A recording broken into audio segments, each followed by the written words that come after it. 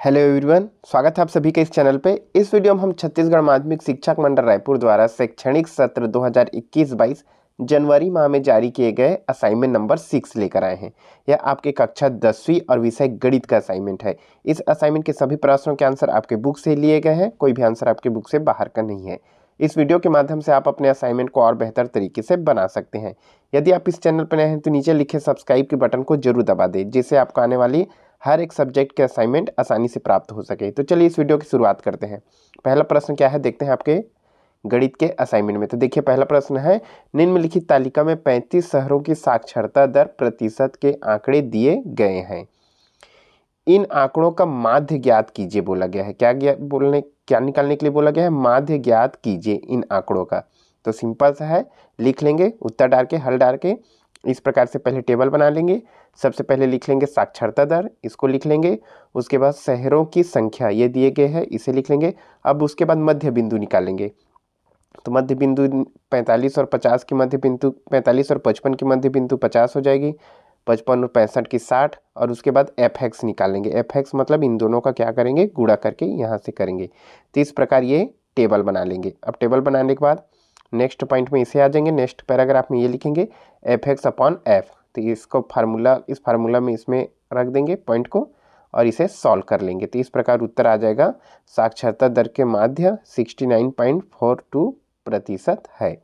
निष्कर्ष भी लिख लेंगे आप, तीन पॉइंट निष्कर्ष। ये हो जाएगा इसका आंसर। अब आते हैं क्वेश्चन नंबर टू में। क्वेश्चन नंबर टू क्या बोला गया है? नीचे दिए गए प्रेक्षणों को औसत, प्रेक्षणों का औसत छत्तीस है। एक अज्ञात प्रेक्षण ज्ञात कीजिए। क्या बोला गया है? नीचे दिए गए सभी संख्या का औसत कितना है? छत्तीस है। इसमें से ये एक्स का मान ज्ञात करने के लिए बोला गया है। एक्स का मान ज्ञात कीजिए तो लिख लेंगे हल, हम जानते हैं, औसत निकालेंगे। औसत का फार्मूला है, इसमें रख देंगे और एक एक पॉइंट को क्या करते जाएँगे, लिख लेंगे अच्छे से स्टेप वाइज इस लास्ट में आ जाएगा एक्स का मान पैंतीस हुआ ओके एफ़ यहाँ पे एक्स लिख लेंगे या एफ़ डाल लेंगे। यहाँ पे आ जाएगा एक्स का मान कितना? थर्टी फाइव ये हो जाएगा इसका आंसर। सभी स्टेप को आप अच्छे से लिख लेंगे, ये हो जाएगा आपके क्वेश्चन टू का आंसर अब आते हैं क्वेश्चन नंबर थ्री में. क्वेश्चन नंबर थ्री में क्या बोला गया है? आरोही क्रम में आंकड़े दिए गए हैं। इन सभी आंकड़ों के जोड़ दिया गया है और इनका मध्य का अट्ठारह है। तो इसमें पी और क्यू का मान ज्ञात कीजिए बोला गया है। क्या बोला गया है? इसमें पी और क्यू का मान ज्ञात करने के लिए बोला गया है। तो लिख लेंगे उत्तर डाल के। हम जानते हैं कि माध्यिका शब्द प्रेक्षणों के मध्य पद का मान होती है और इन सभी को लिख लेंगे, प्रेक्षणों को लिख लेंगे, जो दिया गया है। माध्यिका का चौथा पद है और पी का मान कितना हो जाएगा? सत्रह।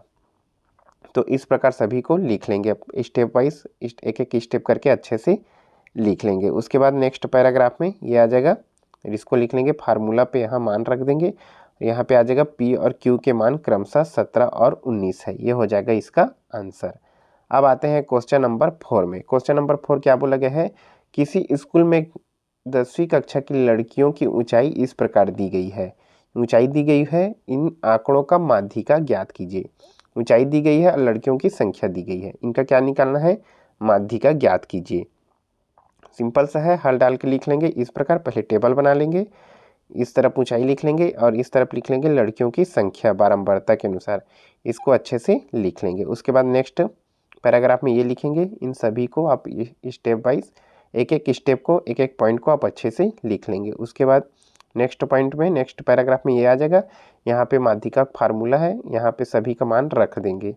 सभी का मान रखने पर ये सभी को आप अच्छे से लिख लेंगे, ये हो जाएगा इसका आंसर लगभग आधी लड़कियों की ऊंचाई 150.55 सेंटीमीटर से कम है। इन सभी को लिख लेंगे, ये हो जाएगा इसका आंसर अब आते हैं लास्ट क्वेश्चन में क्वेश्चन नंबर फाइव में।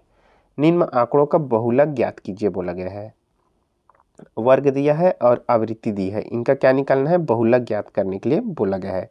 तो हल डाल के लिख लेंगे, इस प्रकार टेबल बना लेंगे, एक तरफ़ लिख लेंगे वर्ग और एक तरफ़ लिख लेंगे आवृत्ति।